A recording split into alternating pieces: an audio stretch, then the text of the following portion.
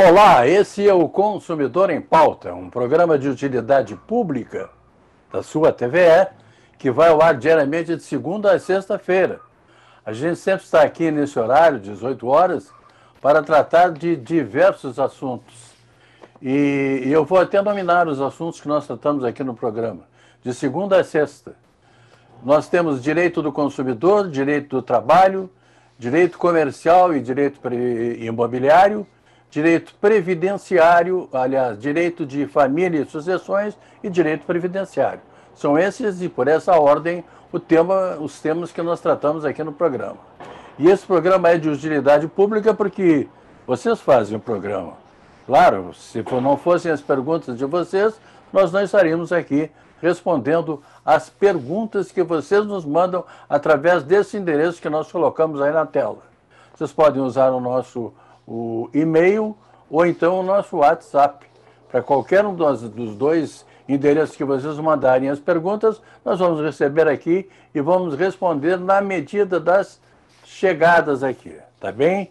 Elas chegam, nem sempre a gente consegue responder todas, então vai respondendo na medida em que elas vão chegando. Se você quer assistir esse programa ao vivo, ele pode ser assistido no Facebook o endereço já está aí na tela ou então no YouTube. Vocês podem vê-lo tranquilamente. E se você tem alguma dúvida ainda, ficou com alguma dúvida a respeito das respostas dadas aqui no programa, vocês assistem o Consumidor em Pauta, a reprise do Consumidor em Pauta, todos os dias às 7h15 da manhã. Tá bem então?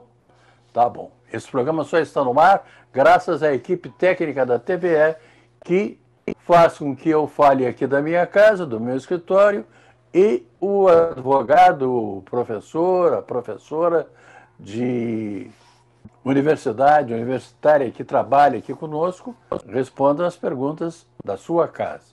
Por isso, um grande abraço ao pessoal da equipe técnica da TVE. Hoje nós vamos tratar de direito eh, de família e sucessões. E eu tenho um prazer muito grande de receber aqui mais uma vez o doutor Ernesto Neto. Boa noite, doutor Ernesto. Tudo bem com o senhor? Boa noite, Machado. Tudo bem contigo? Comigo tudo bem, graças a Deus. Estamos aí nos preparando, já estamos no dia 12 de novembro e a gente segue, né? O fim do ano está chegando aí. Esse ano não sei se parece que passou mais rápido ou passou mais devagar. Na sua opinião, doutor Ernesto, esse ano demorou mais a passar ou passou mais rápido? Olha, eu acho que foi confuso, está embolado esse ano. Eu nunca vi um ano tão maluco quanto esse. Espero não ver nunca mais, né? Mas para mim foi, pois eu é. acho que foi até mais devagar um pouquinho, mas ainda bem que está acabando. Pois é, ainda bem que está acabando. 2020 é um ano que não vai deixar saudades para ninguém. Doutor Ernesto, eu tenho várias perguntas aqui e vou fazer a primeira, que é da dona Neiva, que mora na cidade de São Leopoldo. Ela pergunta o seguinte: se uma pessoa mora numa casa onde há mais herdeiros, mas ficou na casa com o consentimento de todos desde a morte de seu pai, que faleceu em 1984, nunca saiu da casa paga sozinha todos os impostos. Essa pessoa tem direito ao uso capião dessa casa? Bom, o mero consentimento dos outros herdeiros, ele não configura por si só um direito ao uso capião. Uh, para o uso capião, a coisa mais importante é que a pessoa que está ali vai ter que uh, provar o animus domini, que é uma linguagem, é um juridiquês, né? Para agir como se dono fosse para todo mundo, para inclusive para a justiça, aquela pessoa seria o dono. E esse consentimento que os herdeiros deram, eles poderão alegar em juízo que não, eles emprestaram para a senhora, fizeram um contrato verbal, por exemplo, de comodato, que equivale a um aluguel sem que precise pagar um aluguel grátis, mas também um contrato verbal é válido. Né? Uh, inclusive os, uh, os impostos que a senhora, por exemplo, já pagou, eles podem, a senhora poder cobrar deles, claro, né, se não ganhar o uso caso a senhora entre na justiça. E eles também, caso eles ganhem o, a ação e a senhora não tenha direito ao uso eles poderiam, inclusive, lhe cobrar os aluguéis atrasados, alegando que foi combinado um aluguel, a senhora não pagou, qualquer coisa assim. Então, uh, esse caso desse uso capião que a senhora está querendo pleitear ou cogitar, vai exigir uma prova muito robusta, não é simples essa prova, até um pouco complicada, para dizer que a senhora era dona, agia como dona, tinha esse ânimos domini. Então, se for esse seu interesse, procure um advogado uh, especialista na, nessa área patrimonial de uso capião e tente ver quais são as provas que a senhora vai poder sustentar no seu processo. Mesmo com todo esse tempo, desde 1984, ela mesmo pagando todos os impostos, só se ela tiver provas realmente é, conclusivas, né, de que ela mora na casa e é dona da casa, para poder fazer é, o processo de uso é, Seria, não é morar na casa, ela mora, paga, tudo isso, aí, não, isso não tem dúvida nenhuma. Né? O tempo teria, também o tempo seria suficiente. Mas o consentimento dos irmãos poderia ser um consentimento como se fosse, por exemplo, não, eu vou alugar de graça para ti um comodato, eu vou te emprestar, né? mas eu não estou te dando, estou te emprestando. E aí tem, e essa é toda a diferença que faz. E essa que é a prova que vai ser feita, de um lado e de outro, vai ser uma briga difícil. Como se diz em São Gabriel, vai ser uma briga de facão, mas tudo bem, aqueles bem afiados ainda. A dona Norma mora na cidade de Sapucaia do Sul. Ela viveu durante oito anos com um companheiro e nunca oficializaram a união. Quando nos conhecemos, diz a dona Norma, eu tinha um filho pequeno que hoje está com 10 anos. Adquirimos um terreno e construímos uma casa de alvenaria com garagem. Agora ele arrumou uma, é, uma namorada que quer a casa que, e quer que a casa seja desocupada para poder viver com a namorada. Eu e meu filho moramos na casa. E a dona Norma, lá de Sapucaia do Sul, pergunta: temos que sair da casa, doutor? Dona Norma, não tem que sair da casa, mas eu já lhe adianto: procure o quanto antes um advogado ou um defensor público para fazer valer os seus direitos. A senhora vai ter que ingressar com uma ação de dissolução da união estável e também requerer a partilha dos bens adquiridos durante essa união estável, durante esses oito anos que vocês conviveram. Então, essa casa, esse terreno, é meio a meio, metade da senhora, metade dele. Mas isso a senhora vai ter que buscar na justiça, não espere parada. E uh, outra coisa que a senhora pode pedir para não sair da casa, dentro do processo, pedir ao juiz, é o seguinte: olha, eu não tenho condições de comprar a parte dele ele não tem condições de comprar a minha parte, então nós vamos ter que vender a casa e dividir o dinheiro. Mas eu tenho um filho pequeno, então eu peço ao senhor juiz que eu fique morando na casa, até porque eu tenho um filho pequeno, até que a casa seja vendida e o valor aí dividido entre os dois, os dois companheiros, né, entre a senhora e o seu ex-companheiro. Ah, mas a senhora tem que buscar os seus direitos. Procure defensoria pública, um advogado e lute por eles. O, ex-marido, o ex-companheiro não pode simplesmente chegar lá e dizer, olha, eu agora quero que tu saia da casa porque eu vou morar aqui com outro. Não é bem assim, de não jeito é? De jeito nenhum, não saia daí de jeito nenhum. E se ele ameaçar lhe agredir, vá direto para a delegacia da mulher, preste queixa, caso ele ameace, não precisa nem lhe agredir, só a simples ameaça de agressão, né? que aí, aí sim ele que vai ter que desocupar a casa imediatamente, se ele fizer isso. A próxima pergunta, doutor Ernesto Neto, vem da cidade de Soledade. É, e quem nos manda é o senhor Dirceu, que mora lá em Soledade. Quando conheci minha companheira, ela tinha um filho de 5 anos. Vivemos juntos até o menino completar 18 anos. Ele trabalha e não estuda. Pergunto se tem que pagar pensão alimentícia para o filho, para um filho que não é meu. E eu me não. permito fazer aqui uma ressalva. Não é meu em tese, né, doutor? É, vamos dizer assim, não, não precisa pagar a pensão alimentícia. Alimentícia não precisa pagar, o senhor, seu, seu não precisa pagar nenhum, nem se preocupe. Esse filho, ele, ele realmente não é seu filho biológico. E talvez, mas isso aí dependeria de um processo judicial, que depende para fazer prova, pudesse ser reconhecido como seu filho socioafetivo. E se isso acontecesse, ele teria os mesmos direitos que um filho biológico seu, mas isso ainda depende de um processo.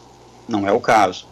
Mas, mesmo que, vamos supor que ele fosse reconhecido seu filho socioafetivo, o fato dele já ter completado 18 anos, não estudar e trabalhar já, isso aí já uh, exime o senhor de, da obrigação de pagar a pensão alimentícia. Não, então não precisa mais pagar.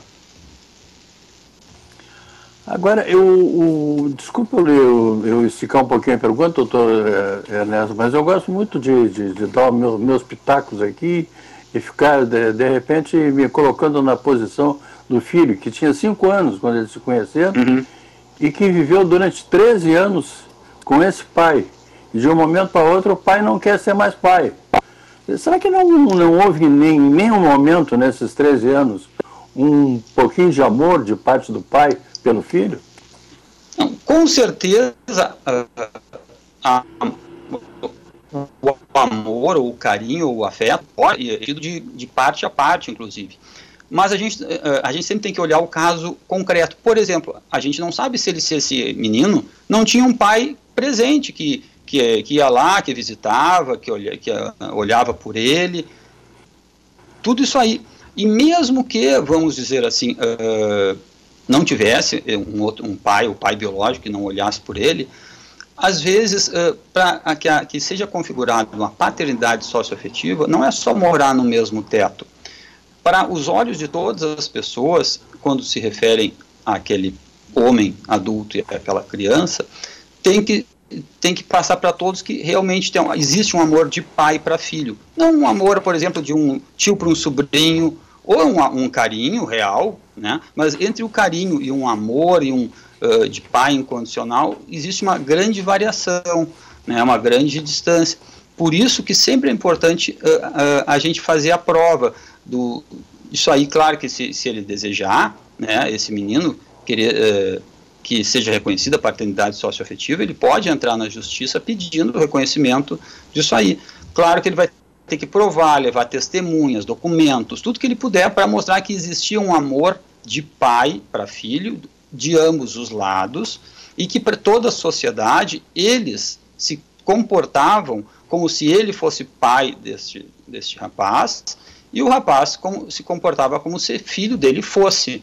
Então a gente, só dessa pergunta assim superficial, a gente não tem como dar uma resposta uh, definitiva sobre isso. É, são coisas do direito de família e sucessões que eu sempre falo aqui. Eu tenho, eu tenho, talvez é porque eu tenho um coração doce demais, ou, ou gosto demais das pessoas, mas eu acho que viver como uma criança durante 15 anos e não e, e mesmo assim não amá-la, bom, isso é um outro problema. Bom, mas, mas eu já lhe dou um exemplo, então, meu exemplo, então, Machado, eu convivo é. com, o filho, com o filho da minha atual esposa, né, há quase 13 anos, 13, 14 anos, e eu gosto demais dele, eu realmente amo ele. E eu também tenho meu filho e a minha mulher atual também amo meu filho.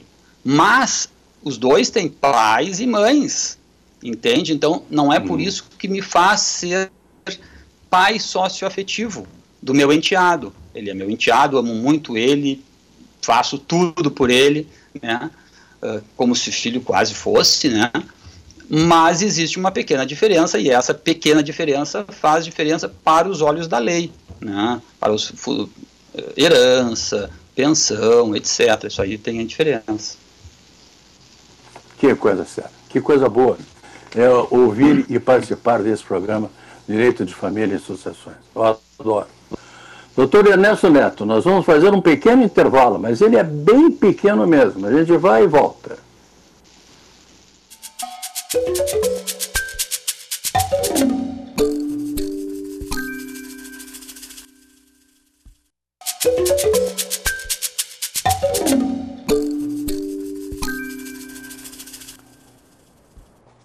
Você está assistindo o programa Consumidor em Pauta e nós hoje estamos tratando de direito de família e sucessões. Eu estou conversando com o Dr. Ernesto Neto, que é especialista nessa área. Então vocês podem mandar as perguntas para nós aqui através do nosso e-mail ou então através do nosso WhatsApp. Os endereços estão aí na tela para que vocês tenham sempre a oportunidade de mandar as perguntas. Doutor Ernesto, veja que pergunta interessante essa aqui. A dona Marta mora na cidade de Canoas. Ela diz o seguinte: fiquei sabendo através do programa que existem mediadores oficiais. Acontece que meu marido e eu, casados há 16 anos, com uma filha de 14 anos, não sabemos se queremos nos separar ou não. Será que um mediador pode nos ajudar? E daí, doutor Ernesto? Bom, uh, nesse caso específico, eu vou lhe explicar, dona Marta, o que é o mediador judicial. Ele não serve para o seu caso.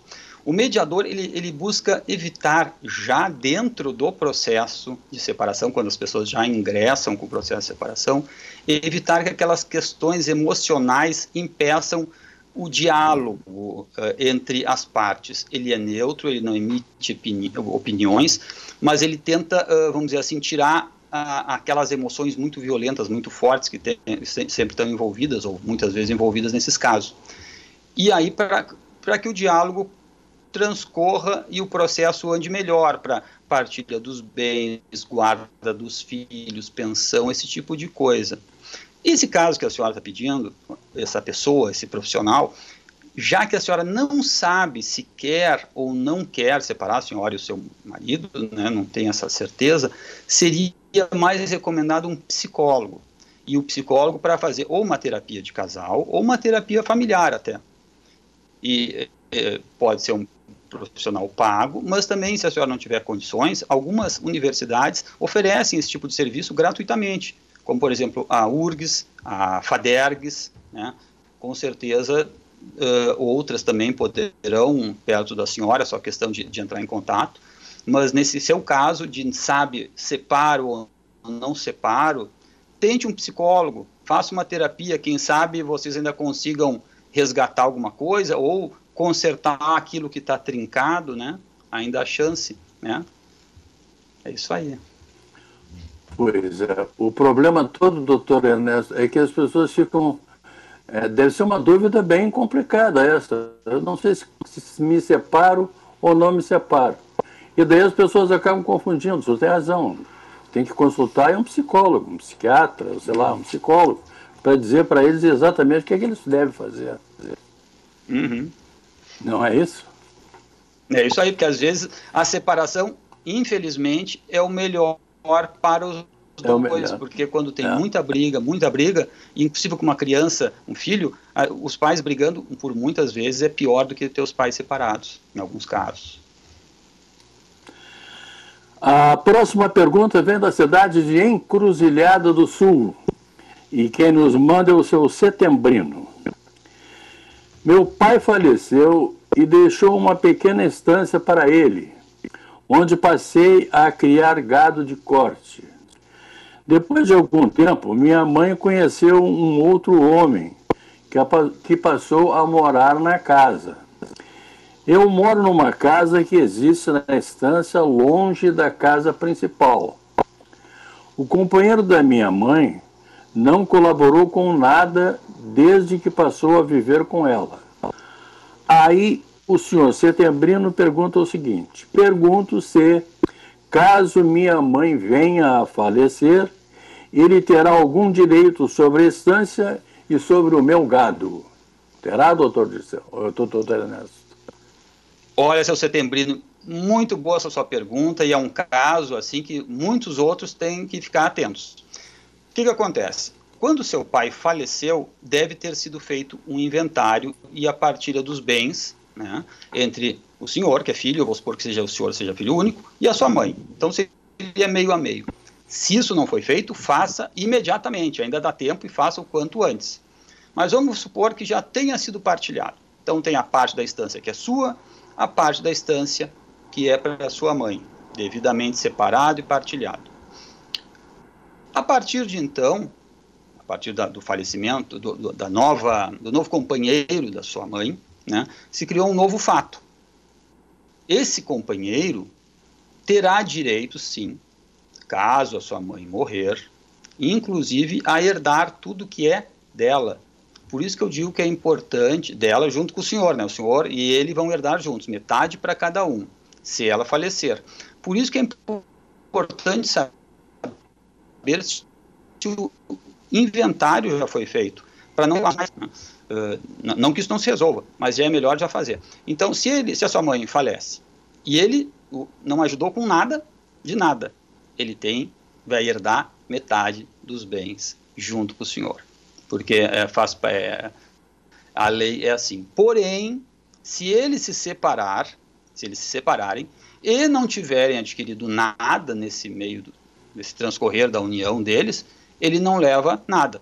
Ele só levaria metade do que tivesse adquirido no decorrer da união estável deles. Né? Quanto ao seu gado, é importante também saber se o gado está registrado no seu nome, lá na inspetoria veterinária, o senhor tem nota de produtor rural com gado no seu nome, tudo certinho, o gado é seu. Porém, se esse gado está no nome da sua mãe, registrado como se dela fosse, o senhor só uh, usufrui, mexe com gado, tira leite ou, ou gado para corte, etc. Aí ele, esse senhor, se a sua mãe falecer, também vai receber uma parte do gado, junto com o senhor, vai ser herdeiro também, porque está no nome dela. Por isso que é importante cada coisa, os negócios separados, registre o que é seu no seu nome, deixe tudo regularizado, porque se a sua mãe falecer, e esse senhor vai herdar junto com os senhores. O senhor vai, vai concorrer na herança junto com ele. Pois é, né? Que coisa complicada isso, né? Até para fazer o. De repente lá o fulano matou uma vaca, então faz um churrasco, tem que dividir o churrasco. Bom, mas isso aí é coisas também do direito de família, né, doutora? É, é porque o são, que acontece... São coisas que acontecem. É, o que acontece muito seguido é assim, as pessoas vão deixando, não vão fazendo, ah, isso é muita burocracia, isso é chato, tem que pagar imposto, não vou me incomodar. E daí, por não querer fazer isso agora, lá na frente se incomoda muito mais, gasta muito mais e perde muito mais dinheiro. Então, resolva, resolva logo os seus problemas. Né? Doutor Ernesto Neto, é, lamentavelmente nós estamos chegando ao final do programa, porque o programa é agora um pouquinho mais curto, por causa do horário político. Então, eu, eu quero agradecer muito a sua presença aqui e dizer que esse programa estará de volta amanhã às 7h15 da manhã. Mas o senhor volta sempre, doutor Ernesto. Sempre que o senhor quiser, o senhor diga, liga para mim e diz, ó, oh, mas já estou indo aí. Então, está indo aqui não. Está ficando na sua casa e nós fazemos daqui. Né? É isso aí.